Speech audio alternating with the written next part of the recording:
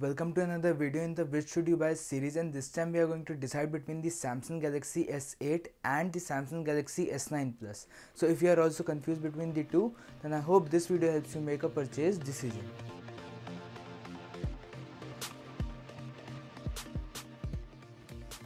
Welcome to Tech Trishant and if you are new here thanks a lot for stopping by on this channel I love to help you guys make a purchase decision. Let's discuss the first thing and that is the design. Now in terms of design, now both devices come with a gorgeous infinity display so you would not have a problem in terms of display. Speaking of the ports, both come with USB Type-C headphone jack and a single speaker grill at the bottom. One has a little rounded frame with stainless steel finish as on the iPhone 10 lineup but it is aluminium. One has a little matte kind of finish, a glossy matte finish but a little squared off design. So it's your preference which device do you want to go for. Both come with a curved glass back and the Galaxy S9 Plus definitely comes with a better position position of the fingerprint sensor as opposed to the Galaxy S8 which has a awkwardly placed fingerprint sensor. Both come with iris scanning and face unlocking so you're getting more or less the same features in terms of design and durability on both of them. Both of them have Corning Gorilla Glass 5 on the front and back. Both of them come with a hybrid SIM slot in which you can use either dual SIM or one SIM and a micro SD card. Both are expandable to a freaking 512 gigabytes. So samsung has been future proofing their phones. Same type of durability same type of ports almost same type of display. Both are ip68 water and dust resistance. Both come with fast wireless charging. So if you want your phone to stand out in the crowd at the same time but not spending that much money but still look beautiful and very beautiful in the hand, light, compact feel, very premium feeling in the hand, then the Galaxy S8 is the go-to phone for you and you can definitely save some money by going with it unless you are irritated by the position of the fingerprint sensor. If you want that better position of the fingerprint sensor, dual rear cameras and a bigger display, then definitely the Galaxy S9 Plus is the phone to go for. You would get an equally beautiful phone especially if you prefer prefer squared off look. Coming on to the second thing that is the display. Now in terms of display just look at both these phones. Both these phones have exactly the same type of display. Both come with a resolution of 1440 by 2960. The S8 coming in with a pixel density of 570 pixels per inch. The S9 Plus coming in with a pixel density of 529 pixels per inch. On both displays, you're gonna get really sharp images, sharp videos, any type of media consumption that you do, it's gonna feel really good on both of these devices if you like playing games then i would recommend the s9 plus because of the bigger display other than that it's gonna feel exactly the same on both of these devices and above 500 pixels per inch it's very rare of a chance that our eyes can catch the difference in the sharpness if you want to save some money then you can definitely go with the galaxy s8 because it has the exactly same display that the s9 plus has. Coming on to the third thing that is the performance. Let's just first discuss the specifications. The s8 comes in with snapdragon 835 or Exynos 8895 based upon 10 nanometer 4 gigabytes of RAM, Adreno 540 or the Mali G71 GPU. The Galaxy S9 Plus comes in with Snapdragon 845 or the Exynos 9810 it is also based on 10 nanometer but it comes with 6 gigabytes of RAM and Adreno 630 that's a flagship GPU or the Mali G72 which is also a flagship GPU. So let me tell you which device should you go for depending upon your use case. You use your phone for general everyday tasks, accessing mail, making calls and all of those things and general app experience, media consumption all of those things, playing light games. The Galaxy S8 will not at all break a sweat. Instead you would definitely save some money by going with the Galaxy S8 instead of going with the Samsung Galaxy S9 Plus if you do general everyday tasks that I mentioned but difference comes when you put your phone under heavy load a lot of times. Let me explain that if you do most of the time multitasking using split screen pop view and use heavy intensive tasks that put your device under heavy loads a lot of times play graphic intensive games a lot of times and if you are a gamer especially if you do all of those things then you would definitely feel a difference between the S8's performance and the S9 Plus performance. So you would be better off going with the S9 Plus instead of the Galaxy S8 if you put your device under heavy load a lot and a lot of times and in terms of gaming you are getting a bigger step up because the G72 is much much better at handling games as compared to the G71 on the Galaxy S8 and the Adreno chips are even better. I haven't tried it with the Adreno chips but I have heard that the Adreno chips are generally better at handling games. So for the performance I would definitely say in short that if you do general everyday tasks the Galaxy S8 would be a great choice for you. If you do heavy tasks then the Galaxy S9 Plus would be the go-to phone for you as compared to the Galaxy S8. It would be definitely worth the money of going with 57,900 rupees if you use a phone for the things that I mentioned for this device. that was the performance. Coming on to the battery in both of these guys the galaxy s8 comes in with 3000 milliamp hours of battery. The galaxy s9 plus comes in with 3500 milliamp hours of battery. Speaking of battery life both of these have very average battery life but still the galaxy s9 plus performs better in terms of battery life as opposed to the galaxy s8 definitely because of the bigger capacity of the battery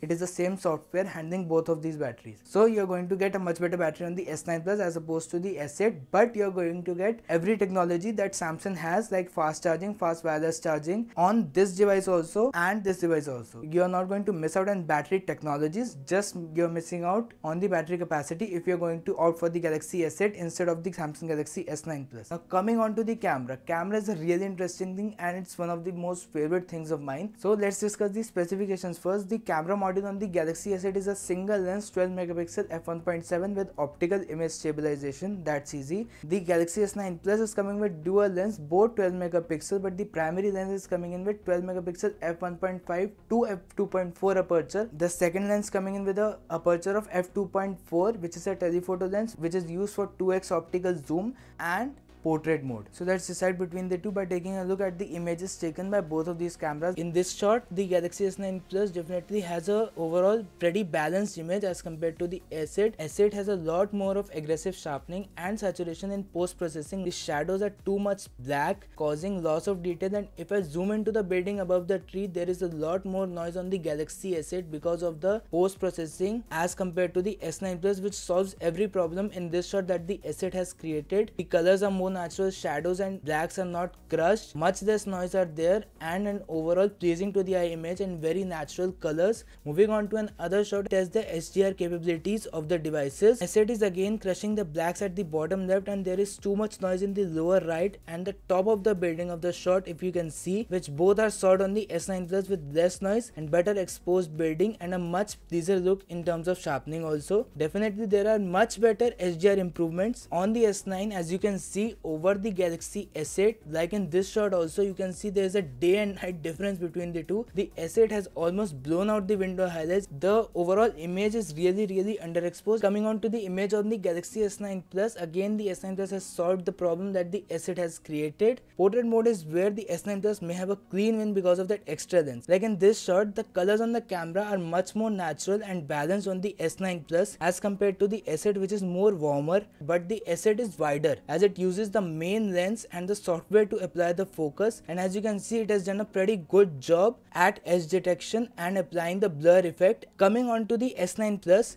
it is cropped in because it uses the second lens but the blur is much better as you can see more satisfying to the eye. And if you are thinking that it is a different shot then you are mistaken. Why? Because the Galaxy S9 Plus gives the ability to use either the cropped in portrait shot or the wide angle shot and you can save it both of them separately if you want both the images. Coming on to the 2x zoom which definitely helps on the S9 Plus and yes it's an upgrade over the S8 definite upgrade you can see in this image which uh, which has a way way more difference between both both of them. Straight away you can see loss of details and blown out highlights on the S8 versus the S9 Plus which produces very balanced image and one thing that I like that it does not make the image warmer and hasn't blown out the sky and most of the things are in focus which is a overall sign of good quality. So if you think that that would be useful for you then the S9 Plus would be a great option to go for. Anyways moving on coming on to low light photography. This is where I would say there's very less of a difference. Why? Because overall you get better exposure and less low light images on the Galaxy S9 Plus as compared to the S8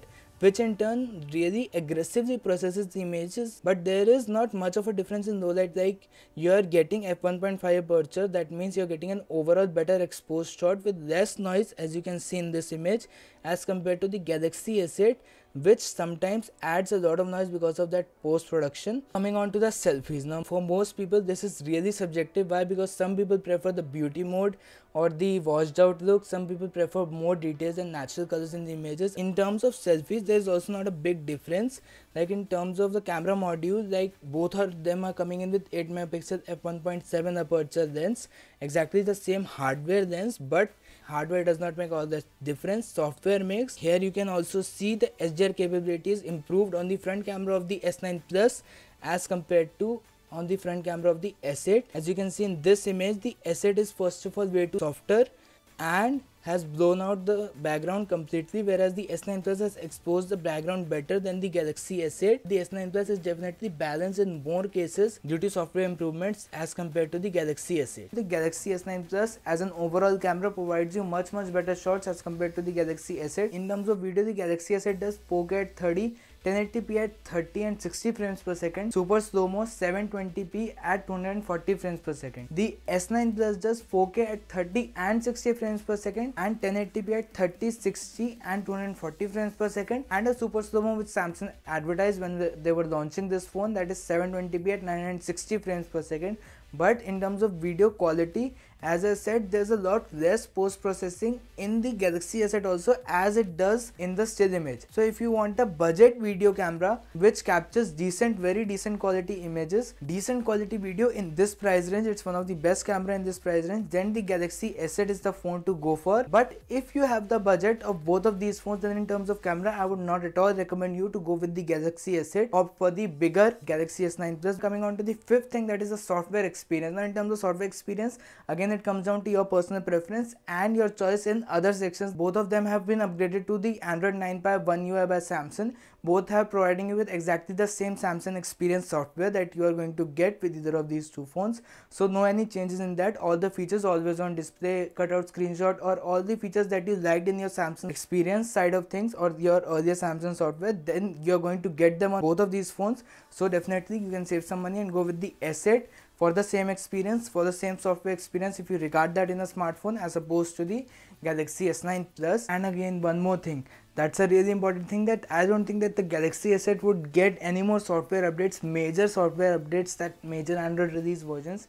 As it has already got android 9 pie two major software updates it came with android 7 out of the box. Whereas i really think that the s9 plus would get one major software update more that means that Android Q would be on the charts for the S9 Plus but I don't think as of the track record of Samsung that they would be updating the Galaxy S8 to Android 10Q but if they do that's a really good thing. Fingers crossed but I don't think they would do. As of my track record of Samsung I've been a Samsung user for most of my life. So if you really don't think that you would need that software updates and one UI would be greater for you, you would still be getting most of the security patches monthly security patches on the S8 then the S8 would be a great great buy for you in terms of software experience. But if you need that software update and you think that more features and more things are important to you that the new android version brings then definitely the galaxy s9 plus would be a better choice in terms of software experience to go for. So as an overall package which phone should you go for? The galaxy s8